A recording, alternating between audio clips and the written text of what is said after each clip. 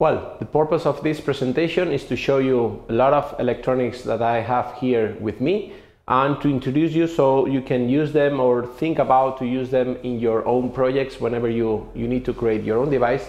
Apart from the ones that I have already explained, the idea is that I, I can show them to you and, uh, and explain a few details about them. Okay, so let's start with the board Wemos D1R32. This is the, the board that we will use for all our, our exercises and this board works together with the multi-sensor shield that will be used also in our exercises and they they can be connected together like that. Indeed this is what i have here okay? So the two boards are connected.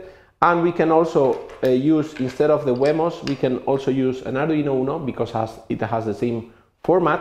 And instead of the shield the multi-sensor shield we can also use this kind of uh, extension shield. So they provide us with a lot of pins for ground and signals so we can connect additional electronics.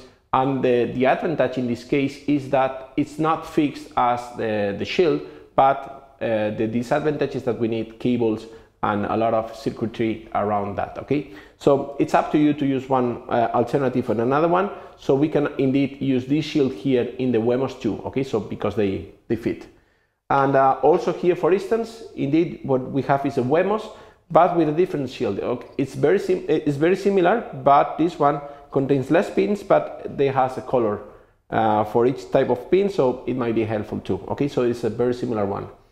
And also, for instance, an alternative is to use the Node MC, MCU that I already explained together with the uh, shield because also provides with a lot of pins with ground signals and, uh, and all of that power pins so we can connect our modules to it okay?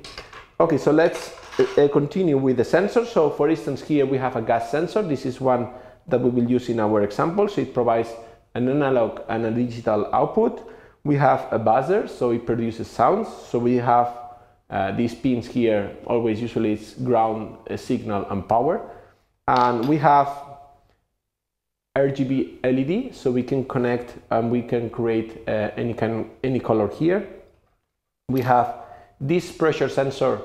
This is uh, to provide us the temperature and uh, the, the uh, it's a barometric sensor, so it provides pressure, temperature, and also the altitude. Uh, this is an infrared sensor, so it provides the light uh, measuring, but always in a grayscale. Okay, so it detects between black and white. This is, for instance, an analog temperature sensor. This is the Dallas B20 sensor. And this is uh, just a push button. You can see we can push it, okay? And uh, this is uh, ultraviolet sensor, so we can uh, uh, detect the, the radiation of light. So it's very interesting and provides an analog output. This sensor here is also very interesting because it can be used to detect colors. Indeed, our software uh, can detect up to, I think, 12 or 14 different colors using this, this sensor. This thing here is a LED matrix. It has eight LEDs all together here.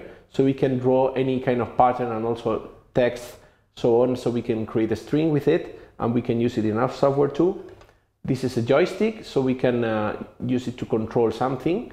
So it has two axes, analog outputs, and also has a switch button here, as you can see. And uh, apart from that, these standard uh, connections, these pins, there's also uh, some, of, some of the electronics, they also come with this connector here. It's an RJ45 connector, which is easy to connect. It's called Easy Plug. And as you can see here, yeah, we have a switch button, which is connected, and it's very robust and stable. So if you're working with kids, maybe it's a good option for you to work with these electronics. And in the same way, I have presented a lot of sensors and, uh, and actuators. There are also the versions with using these, um, these things here, and also they include some color codes indicating what type of sensor is. And uh, for instance, we also have, uh, well, here this is a, a line tracker for a robot, also using the same connector. And also we have power bank. So if we need to connect uh, our uh, electronics and, and uh, to be autonomous in terms of energy, then we can use a battery like that one. And maybe we are interested in a solar panel. So this is a very similar one. So they both of them they provide five volts and three volts. And this one uses two batteries and this one only uses one battery. Okay, so they are quite similar. This is a rain sensor. This is a rain sensor. We can put this uh, panel here under the water. So depending on the amount of water we detect here, the uh, analog output provided here by the sensor uh, varies. Okay, and also here, for instance, we have a heartbeat detection sensor. So we can use this to connect three, uh, using three pads to connect uh, to detect our um, pulse rate. Okay, and also very interesting because it provides the analog output for it. This is a color RGB strip and uh, with this we can just simply uh, control a lot of LEDs all connected together but just one, one single uh, pin. And for instance this is uh, a stepper motor.